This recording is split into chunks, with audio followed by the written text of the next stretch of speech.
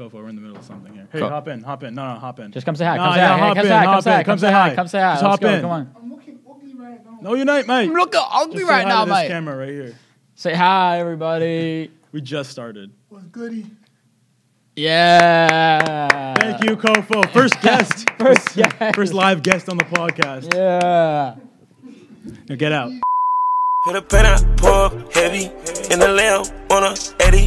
I got three O's, run a valley. All right, what's up, guys? Welcome back to the show with Dan and Joe. This is episode five. Uh, man, we've been having a lot of fun with this recently. Just got on Spotify uh, and Apple Apple Podcasts, and those are doing pretty well. We have a five star rating on Spotify. I don't know if you saw Yeah, that. We have like 11 reviews, so drop a five star if you guys uh, you know want to, if you feel inclined to. Um, so as you guys saw from the title, we're gonna be talking about like showcases and camps today, going over some more hot takes as you guys know and love, and then yeah, so we're gonna have a good day of, of content and have some fun. A lot of stuff's been going on these last couple days A lot of stuff, dude. A lot, lot- of stuff. like, I, I mean, I Crazy think stuff, bro. I Lance, don't know if you- Lance McCullers followed me. Lance McCullers. He's verified with 200k. Yo, Lance, if you're watching this, bro, what's up? Hi, Lance. Hi, Lance. Wow, that was awesome. That was uh, Tejay Antone followed me. Crazy. Reds pitcher. Uh, dude, I, I don't know. It's crazy. It's been nuts. It's just been so Yeah, weird. I, I hit 12.5k on on Instagram. And like, bro, you were at like I was at 10K, I like hit last 10k week, last Friday, so I've two and a half, 2.5k. Like I, I struggled to get to 2.5k, and I got in a week or less than a week. Man, it's wild. All I can say is I like, hit 60k on yeah, talk. just keep it coming, dude. It's Thank you guys. I'm glad. I mean, we're glad you guys are liking it. I think we're kind of filling a hole in the niche of baseball that needed to be right, dude. filled. Yeah, exactly. Yeah. 100, percent No. Baseball's definitely. been down. I think that it's you need something that's gonna bring it up. Make baseball litty again. Make baseball litty again. was awful. But yeah, man, we're gonna have a fun, fun topic today. Fun topics today, and let's get right into it. Personally, personally, I think though, like listening on Spotify and Apple Music, Apple Podcast, whatever it's called, is is the way to go if you want to just plug in some headphones and walk around, listen to it. Yeah. Um, that's the way I like to listen to podcasts. So I mean, check definitely check it out over there. Okay, Joe. Our baseball showcase is worth it. I'm gonna keep that broad on purpose. Um, broad question, like you said, but I mean, for me, I think that it's they're worth it if you go to like if like if you go to like a PBR, um, a perfect game, something like that. I mean, I think that if you go to one or two where you get your profile made and all that stuff, I think that that is worth it. You think the seven hundred dollars for a perfect That's game? but that's my point. But like for me personally, I know that like when I went to PBR or whatever, like they make the the video for you, whatever, and I went one time. That's cool. and yeah. and now you can send that to coaches and stuff like that. But going again and again, I mean, it comes a money I don't know. Here's my thing, bro. Like, if you're spending three hundred dollars, PBR I think is probably 200 300 dollars. Yeah, uh, perfect game is probably double that. Yeah. but you get a little more with it. Or we could do something we got right here, an iPhone. Yep. And a pocket radar is just as much as the PBR showcase. If you really want to work on your development, a pocket radar for both hitters and pitchers, I think pocket radars are so underrated Yeah. for exit velo and stuff, and just what is it, quantitatively tracking progress. But man, if you just get a little bullpen, if you're a dude, you're a dude. Like get a video posted on Twitter. We've talked about that, but emails definitely still work. But with that said, here's here's my take on it. If Yeah. we can get into that, Yeah. um, yeah, dude. So I think showcases and camps. Camps are a little different than showcases. Like school, college Right. camps are a little different thing, but I think they're worth it only if a a coach is there, like has interest in you, has Yep. shown interest, reached out to you personally and said, "Hey, we want you to come to this camp." Not Yeah, just one of those broad Yeah, emails. right. Like if you know this coach likes you and knows who you are, or B or two. I don't remember if I said A or one, but or two or B or two or B. You're you're a dude. You're Yeah, a stud. Like right. you're an absolutely. You're Right. gonna make an impact. People are gonna see you and be like, "Holy shit! Why Right. why has he not been committed here already?" But like you have to really stand out Yep. because those camps are just to make money for like the recruiting coordinators and, and those Definitely. guys who don't get paid as much. Or th- even I think the um there's something going on with the you know how there's like volunteer assistant coaches. Yep. I think a big part of the money they make. Correct me if I'm wrong, but I think the big part of money they make in their annual salary is from you know recruiting kids for those 100%. showcases, right? Because I mean those are big money makers, Right. man. Get you know 200 kids paying 200 dollars each. That's a lot of money right, right? there. and you go to yeah. one, and the moment you go to one, you get on their email list, and it's like Yeah. they send you these emails to make you feel like you're the man. You know what I mean? No, Yeah. matter, no matter what your status is, it's like, oh, come to this, blah blah, and get seen by this many schools, blah blah, and then it's like you spend another more money, and then you spend more money, and it's like, wait, what? What is this doing for me actually? When I was like a freshman throwing like 78, Yeah. 79, like not probably not even because it was like January, February. I went to a BC camp because someone was like, "Oh, I'm going to this BC camp. You should go." And I was like, "Okay." My dad was like, "Yeah, like 200 bucks. You get seen by their coaches." Yeah. And we didn't know anything back then, right? Like I, you know, it was we. Just, I just was like, "Oh, BC coaches. Yeah. Maybe they'll either help me out and show me how to get better, or maybe they'll like me because I'm a lefty." And, Yeah. No, but uh, then I go there and I'm nervous because I'm like, "Man, these coaches are going to be here." I don't think one BC coach saw No. Me throw Nope. because at the pitching stations they had like six guys going at once, Yep. tons of dudes there, and they're big bubble at BC. I don't know if you've been to the, their thing. Yeah, it's kind of cool. so sick. But um, it's like an MIT pitching coach, a Babson pitching Yep. coach, like a bunch of small, like great. Those are great schools, by Right. the way. But like a bunch of small UMass, Dartmouth, UMass Boston. Those guys are running like the stations because they're the ones really doing like recruiting, and then the head coaches already know who they want to look at. Like, Exactly. they're looking at the dude named Javier ninety eight. Yep. Like, and exa- not- exactly. They're not dude. there for Like, Dan and throwing it's, and it's 78. like they use the top school of the area to bring in some some And they product. get you know I revenue. mean? I'm sure Yeah, those exactly. D3s pay money to be there, or at Right. least they're making connections with those coaches. So, like, I mean, dude, if I was, a, I mean, it's, it's a great moneymaker Right, for and the it's school. like, like- come to, come to the BC, and you get to see the campus yeah, and stuff, which is BC, cool. I mean, I think BC is one of the nicest campuses in the country, dude. Oh, it's yeah, unbelievable. beautiful. It's so beautiful. So like, Yeah. I mean, it is. It can't hurt to take the opportunity if you really just love baseball and you go play there. Like, and you want to just go, how good people right, really are. Exactly, dude. yeah. And like, definitely going to showcases it'll open your eyes. Um, but it is definitely a money grab. in regards to like perfect game though and PBR, man, like I get going to one, right? You go Yeah. out there and you, I mean, no one. Okay, if I really had to give advice to like a parent or a kid who's like seventh, eighth grade, are is going to a PBR camp worth it? Is going to a perfect game showcase worth it? I'd say no. I'm just gonna say like straight up no because you, you have your phone. Like you, if you can get radar from a pitching coach, you get radar. Even if you have a pocket radar, you can get all pretty much all the stuff they want to see Right. without spending all that money. Yep. And then once you get seen on like Twitter or through emails, and like if you're really a guy that want to recruit, they'll come watch you at a game Right. or you'll, they'll invite you to their camp, which Right. goes back to Exactly, camp thing. exactly. So they'll be like, "Hey, we saw you throw 86 in your email. We're interested in you. Um, you know, why don't you come to our camp?" And I'm not sure if at that point they would like you'd still have to pay a fee. You probably Yeah. would because that's just how it goes. But either Right. way, like you, there's there's certain things that like. Yeah, it might seem good, like when a coach is like emailing you, like with your name in it. Yeah, you're like, it's like, what? oh, like, you know, I'm thinking of like Richmond. I remember Yeah, seeing Richmond. yeah, I was like, oh, Richmond. yeah, yeah. And then you realize it's like four hundred dollars. You're like, but Richmond, But Richmond, Richmond, yeah. And then, coach actually emailed me. and then there's seven hundred kids there, and you're the worst. Yeah. at least from my experience. Yeah. no, no. And for me personally, I know I'm sure some people can relate. My dad, I would have him ta- try to take videos of me and stuff, and god awful, god awful. Some people just, you know, some people don't have the magic, magic touch like I do. yeah, I mean, with the- with some people phone, aren't, camera. aren't all. Some people aren't addicted to making content. Yeah, like I mean, so it's just like my dad's not addicted to making content. yeah. So I mean, I I mean, definitely. no, because you get the shaky footage, and my dad's like, he's like, and he's cheering. He's like, yeah, yeah, It's like, yeah, good hit, good hit, like- yeah. It's I'm like, did you get video? He's like, he's like, yeah, and I'm like, where is it? Yeah, uh, yeah. You just got the field. remember one time I gave my the phone to my or I had my camera and I gave my camera to my dad and I figured you could just you know you just press with the record button. It's not that hard.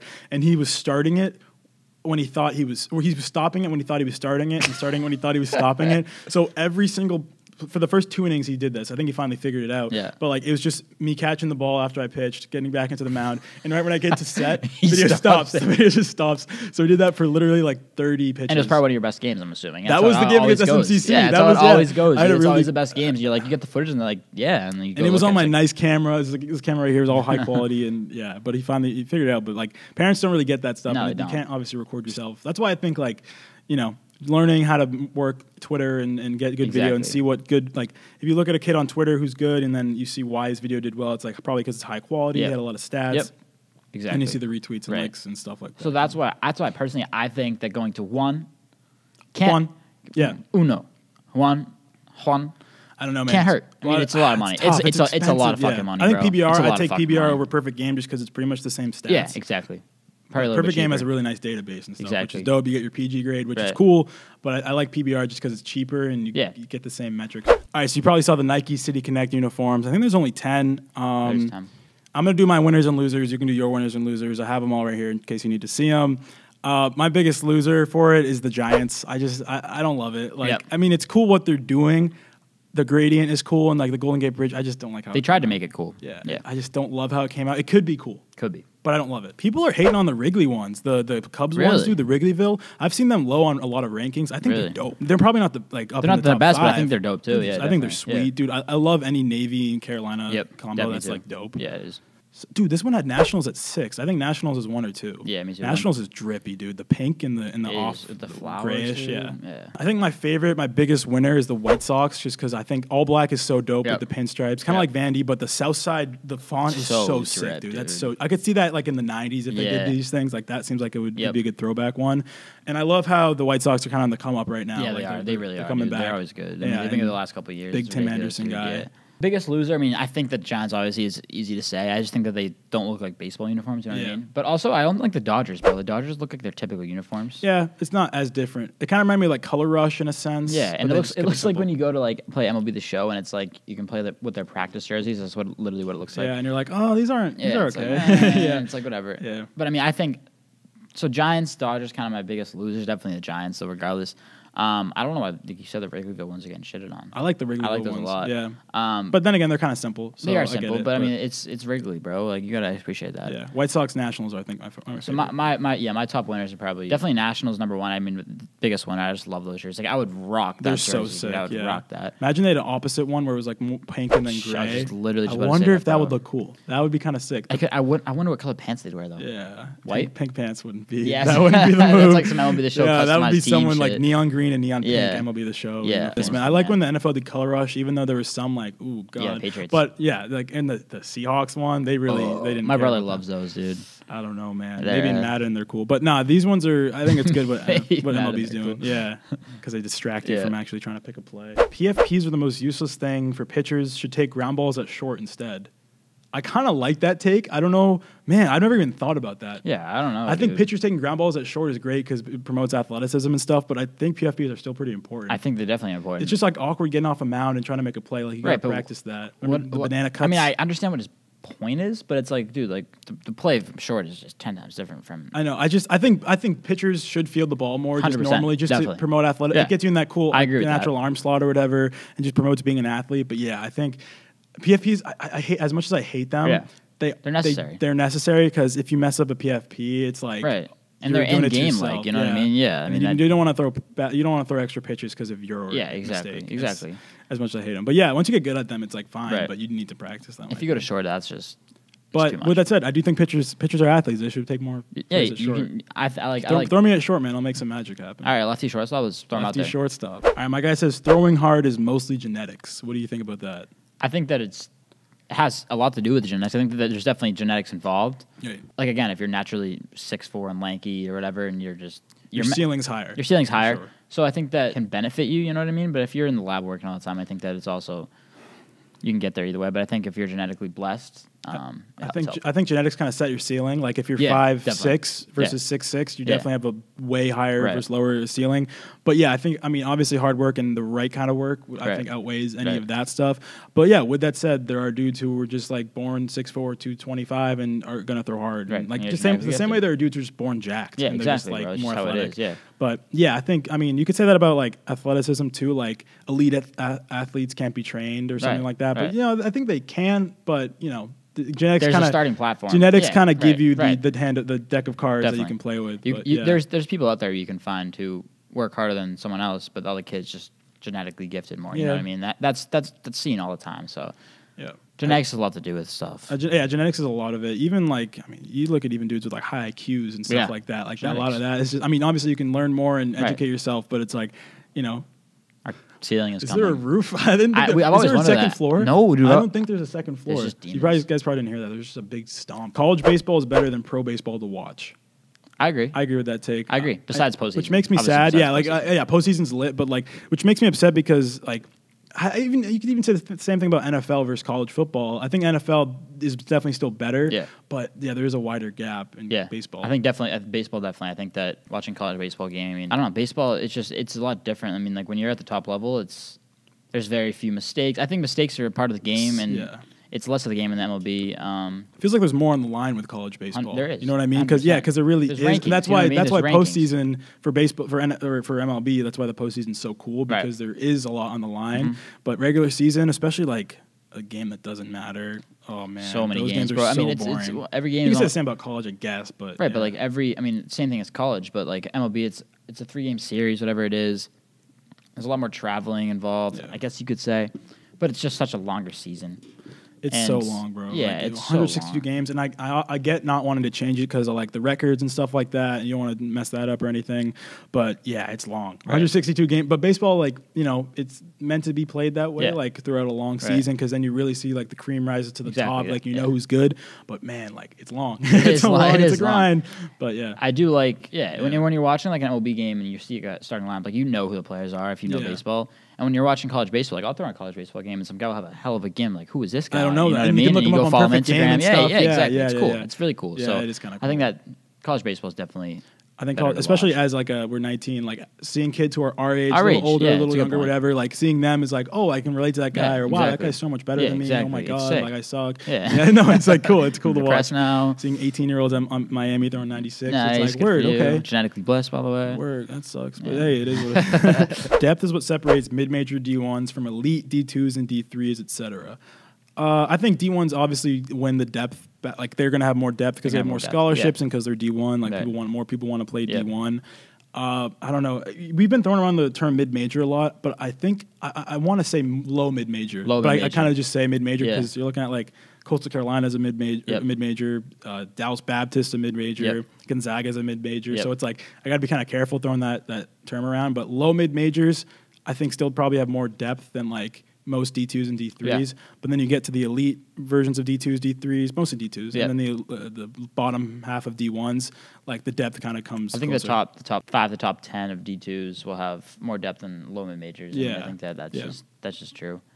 Um, yeah, I think that definitely when you when you of course when you get to the higher level D ones, it's you're not touched like Yeah. depth wise. There's there's arms come out there. Well, yeah, you're looking at dude like you could cut that team in half. You can get the bottom half of a Power Five you team, could, and yeah. they would like blow out most any Yeah. D two Yeah, team like they play. it Like is, it's just how it is. Yeah. But because they just have so many guys, and they're just like kind of making them like they're they're. They're all going preparing the same program. They're preparing yeah. them to be the guys that are on the field in two years. So it's like they're studs. And Yeah, they get all those. They get the dudes with the most potential, and then they, you know, just how it is, man. Mm-hmm. Right. But yeah, that's just that's the truth. I'd say. All right, my guy says Oregon has the best uniforms in all of college baseball. I I I, I can't disagree with that take more. I think Oregon's great, but they just have so much potential, and they don't take advantage of it. I disagree. I like their softball jerseys. Think Why is their that? Why do you like their softball jerseys? They look good. They're good jerseys. All right. No, why Um, is that? Um, I don't know, dude. I think that the softball jerseys of Oregon just look good. I mean, Look, dude. Here's the thing. you just I just saved you. Nah, or okay. I'm looking at their ones right now. Okay, they're not that. I just bad. looked them up. I mean, I just looked them up. no, the green ones are cool with the Oregon yellow right there. Okay, I'll give them that. I just don't love the ones with just the O. I don't Right. love. I don't love that, bro. It like.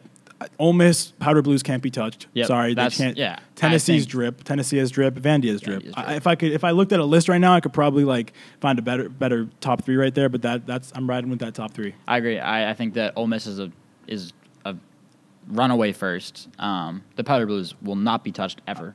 Um, There's some. Yeah, I'd say my favorite uniform is probably the Ole Miss Blues, but um, overall, like the if you're looking at like the three Three. pack, man, I don't know. Vandy, Tennessee, I don't know. I don't know. I, I don't like the Ole Miss Blue, the Navy ones. Those are I think they missed with that one. It's just not as cool as the other I two. just think that the powder blues and the reds Yeah. are just so untouchable Powder that it just are so power. it just brings them like the. Phillies throwbacks, they're like they're just Exactly, like that. like With the the maroon the though, yeah, the Cardinals. Um, but yeah, I think the Vandy's definitely second. Um, Texas, Tennessee, I just like those colorways. Yeah. It's awesome. yeah, Um, but Oregon, no. Yeah. Oregon, I think. Oregon could do better because it's Oregon. You know what I Yeah, mean? They exactly. Hundred percent do better, bro. You can do whatever you want. Yeah, but hey, Softball is nice though. not saying they aren't cool, but they're not. They're not it. You know what I mean? They're not him. they're not him. They're not him. but they're her. Here's a take that I thought was pretty hot, and people are probably gonna get mad that I even am saying it out loud. But this guy said Chipola would beat FSU in a series this year. Yeah. And before Yeah. before you said that, I actually did research. I You actually did, research. I did my research. Yeah, no, you, to- you told me. I I, I know. um, so I looked at Chipola's roster. They have a, a Miami drop down, a Maryland drop down, and then I don't know if you can say drop down because it's Chipola, but you know what I mean. Like they have a bunch of. D one Yeah. Power Five drop downs, and I didn't, I couldn't find where their committed guys are going. But FSU is not having a strong season. I Yep. know that. I just I don't know Chipola enough. I don't even know FSU enough to be honest. I just know FSU's not having a great season. I know they're having a great season. I mean, it's a great program. I know that. Um, I just think that Chipola is just so good, bro. to take it a step further, I saw someone say that Chipola would have a winning record against every team in Florida, any level. Which I think that's just way out. of I don't know, dude. No, come on, that's just way out there, dude. Like Florida, come on. Gators, bro. Gators are slapping them. Miami, Miami's the third best team in the country. Yeah, that, that's one that That's true. That's That's, a, true. That's a miss. true. miss. Florida's gross too. yeah, Florida's drip. But Chipola, dude. I don't know. Like I, I'm just, I, I, I I'm sure they're really Yeah, good, right, dude. I saw right. a stat that in 2017, Chipola had 14, uh, 14 draft picks. Right, dude. In and that's one I'm saying, year. bro. It's like That's wild, dude. And I'm not sure how many went versus state. right, matter, dude. And like if you look at their alum and everything, it's like they got the dudes, man. they, they got dudes, bro. And it's Yeah. like they could have dudes that just couldn't handle the schoolwork part of playing Division One Sure, baseball. you know what I or mean? just like Yeah. wanted innings. You know Right, what I mean? exactly. Because So- like we were saying earlier, where it kind of goes back to like the guys who are being like, you know kind of groomed to be those junior senior starters, but they don't really want to wait. They want to play as freshmen. Play right away. And coaches kind of do whatever they you know they'll say like, oh, we'll get you innings, Yeah. but then stuff changes and they don't get them innings at their those Power Five schools, so they go JUCO, Yep. try to find a new route and develop. And you know everyone kind of has their own uh, journey. I saw one. Comment or one uh, hot take. It was from Coach. Coach put it in the Oh, thing. really? He said transferring doesn't always solve the problem, and I think that's a great take Yeah. to because a lot of guys transfer right as or maybe when there's been some problems and they don't stick it through. And I've from guys I've talked to who wanted to transfer and didn't transfer, they always say it was a great decision. Right. And sometimes people transfer and it's a bad decision. Yeah. So I don't know. I haven't been there, but yeah, I don't know. Personally, I mean, I think that if you're looking to transfer in a transfer portal, you should have like a valid reason, and it should be.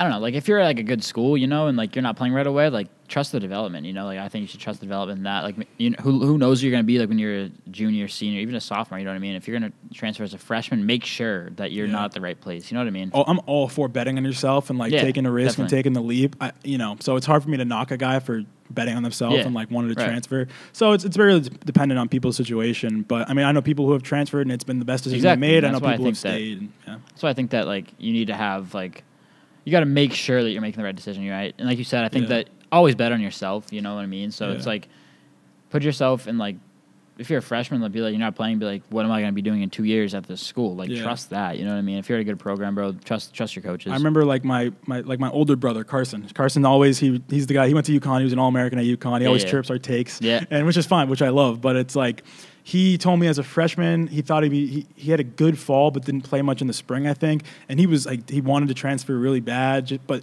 you know some I think it was maybe his dad or some a coach maybe told him like just wait, like your Yeah. time your time will come, and ended up being an All American, got drafted, and Perfect the example. rest is history. Example. So shout out Carson, I love you, bro. exactly, bro. Yep. But that's why you got to sit down, talk to your coaches, be real with yourself, be real with your coaches, like tell them what your goals are and stuff like that. So I think that matters a lot. All right, yeah, that's gonna do it. Hopefully, you guys enjoyed. Make sure to uh, drop a five star on Spotify. That's just so dope to say. Five Drop star, bro. five-star. Spotify is Um, sick. That'd be dude. sweet. Spotify's dope. Apple, I keep saying Apple Music, Apple I can't- I say the Podcasts. same thing. um, if you guys are, you know, watching on YouTube, drop a comment. Let me know what you think. Um, so yeah, man. Hopefully, you guys enjoy this episode. Like I said, a lot of stuff, A lot fun of stuff stuff. in the works. A lot of stuff in the works. Oh man, we are we're doing this, bro. Like all you guys gotta know is like we're just gonna keep getting better and better, and uh, it's gonna be fun. It's gonna be a fun Exactly. summer. Gonna keep pushing out content. Um, fun summer, like you said. I think the summer's Yeah. gonna be huge. Um, but yeah, uh, keep listening. Drop a comment on YouTube. Definitely give us a review on Spotify. Let us know what you want to talk. What, what you want us to talk about, bro? Exactly, dude. anything, keep making man. fun of me. Do whatever you need to do. Yeah, do. get us those views, man. But yeah, thank you guys for watching. That's gonna do it, Joe. Anything? Any last comments? Uh, like I said, just continue to love or hate wherever Yep. you need. Yeah, either way, whatever- either way it whatever works. you need. Uh, all right, yeah. Every and also TikTok- Lance, bro. If you li- if you're listening, dude, what's Yeah, up? Lance, what's up, bro? And I was about to say every comment counts the same to the algorithm. Yeah. You know what I Yeah, mean? so exactly, dude. especially getting an argument with someone, that's even Right, more right, comments. right. But all right, nothing, nothing, nothing about that. Uh, thank you guys for watching. See you guys later. Peace. Peace, y'all. Peace. Peace. Peace. Yeah. Peace. With Southern accent.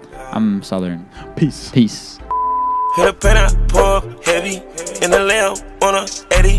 I got three O's, run the valley. These new Dior's, not for belly. Stay that money, Eiffel, Perry. I shoot jumpers, call me Larry. Then they in Yonkers, I need a Navy. Don't need a sponsor, already heaven. They calling me the man, had to slow down,